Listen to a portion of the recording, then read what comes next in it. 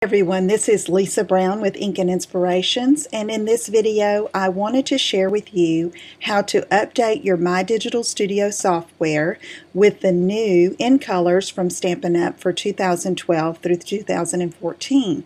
Now I have opened up my Digital Studio program and I am going to just start like I'm going, going to create a new project and click multiple output options and select 8.5 by 11 portrait.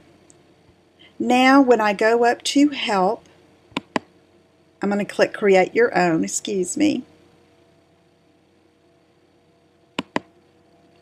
and give it a name. Then I have a blank canvas here and I'm going up to help that is in the menu bar for my digital studio. When I select it, this, these options come up and one of them says check for updates. So I'm going to click that. And then the program will search the My Digital Studio database to see if there are any updates available. And here's the checking. And yes, there is a new version. You can see it here in green. And so I will be able to update it it's going to put it in my users folder and I'm on a Mac so it's showing uh, this version and then I'm going to click next and then the update will start.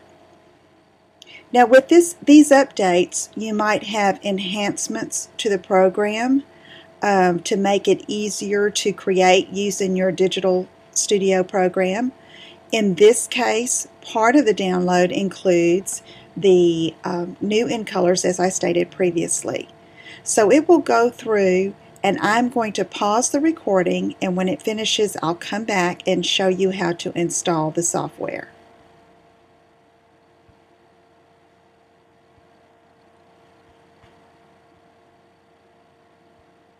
Okay, now the file has downloaded and I get this pop-up box that says that either yes, execute the update installer now, or no, I will execute the update installer later. I'm going to do it now, so I'm just going to click finished.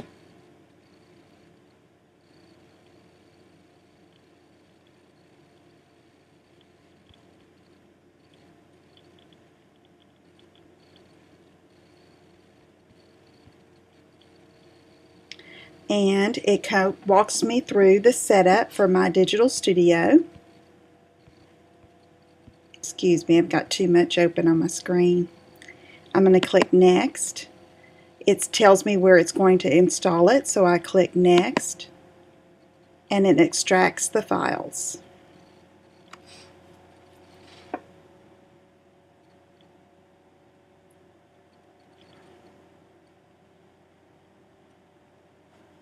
and I'm going to pause while it's doing all of that.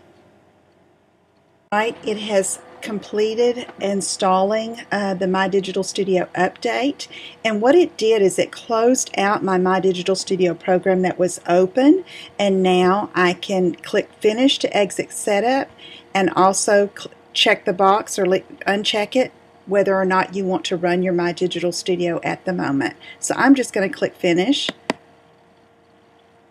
and it's going to reopen my Digital Studio.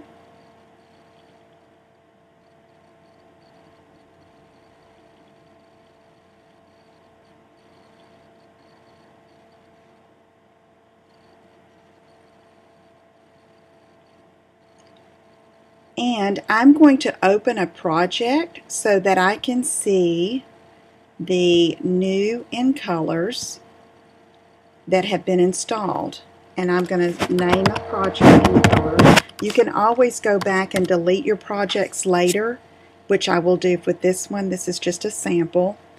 So I'm going to go over here to punches and I'm going to add a punch just a square. And op open that up a little bit so you can see. And I'm going to click on it and copy. Command copy command paste.